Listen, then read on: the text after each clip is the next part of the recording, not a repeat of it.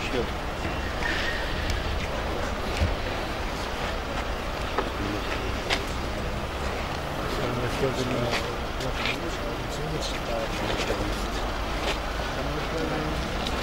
Hoş geldiniz. Başkanım hoş geldiniz. Şeref Ben niye giriyorum? Şey, Hoş geldiniz başkanım. Vedat bizi yatırdığınız için teşekkür ediyoruz. Ederim. Başarılar diliyoruz. Ben çalışmanızı isterim.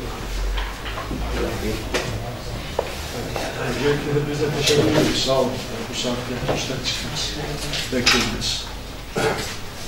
Bizi olur ettiniz. Sağ olun. Hepinize teşekkür ederim.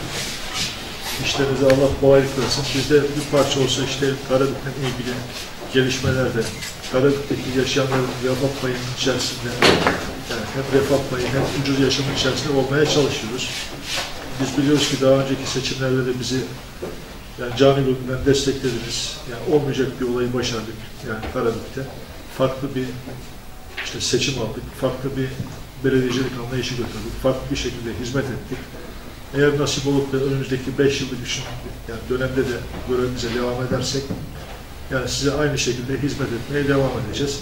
Bizim fazla verebileceğimiz bir söz yok. Yani bir iki tane, üç tane gene projemiz var. Ama verebileceğimiz en büyük sözlerden bir tanesi şu gene. Karabük Belediyesi Türkiye'de rüşvetin konuşulmadığı, avantajın konuşulmadığı tek belediyedir.